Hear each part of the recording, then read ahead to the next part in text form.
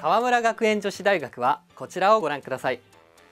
ここでは教務補助職員という制度について紹介されています。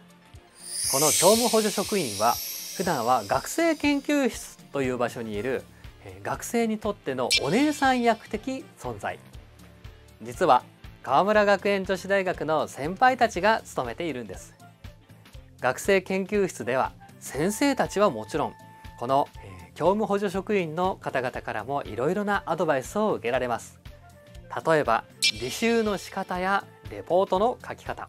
学生生活におけるさまざまな悩みなど学生の相談に乗ってくれたり、えー、先生とのパイプ役になってくれたりするんだそうです。こうして気軽に相談できる先輩がいるのは学生にとってはありがたいですよね。